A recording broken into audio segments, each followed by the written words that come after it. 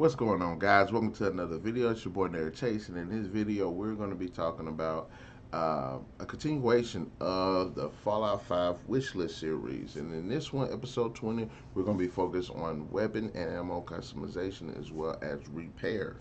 Um, uh, come on, weapon customization is awesome in any capacity. New Vegas gave us the ability to, to not only craft weapons with the use of the workbench but also giving us the ability to recycle uh, residual expended flame and energy ammunition into fresh ammunition and the conversion of energy ammunition into other types of energy ammunition with the use of reloading bench, which I've yet to master, but I figured out.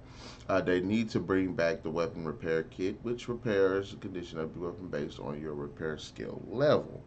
Um, Fallout 4 allow players to modify their weapons. Weapon mods can be built from raw materials and attached to weapons at weapon weapons workbenches, generally including sight, barrels, stocks, receivers, magazines, and more.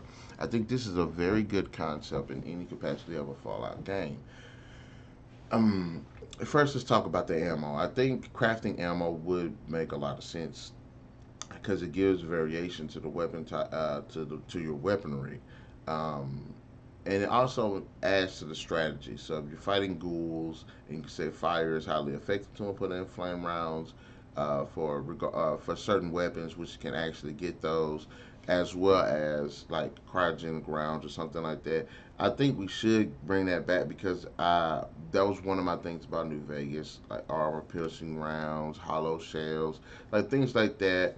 Uh, I think are, uh, are, are are awesome it also it adds so much to the uh, complexity of learning how to utilize weapons, and also would do a great job of bringing back breaking down uh, weaponry to create new weaponry and bullets.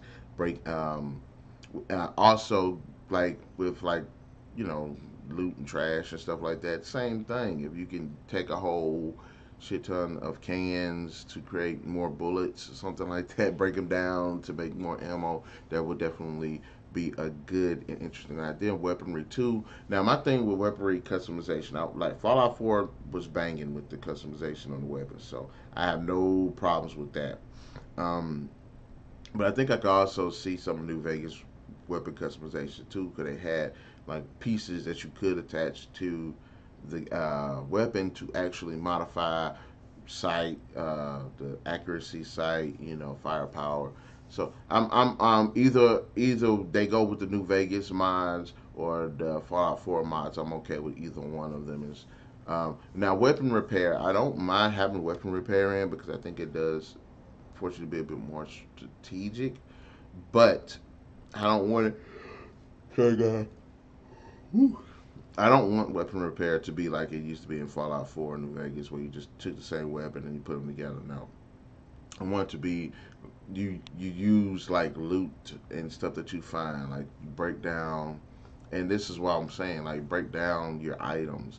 If you get like I don't know, a vacuum cleaner, you can strip your vacuum cleaner down for certain parts and use those parts to help because that would help stop all this stacking up, rack, uh, racking up of weapons and stuff, and also give loot, uh, trash and stuff like that more of an importance um, than just you know settlement building or selling or something like that. So I don't mind the weapon, uh, weapon uh, ammo customization repair. I think that's actually a pretty good idea, as well as spent shells. You can recycle those. I think that's actually a really good idea too.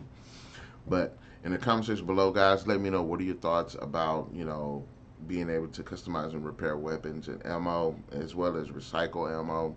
You think it's a good idea? You um, you agree with any of my points on it? Be sure to uh, hit that like, share, subscribe, and that notification button to get the best of what's going on on this channel, guys. And we'll definitely catch you guys later to the next video.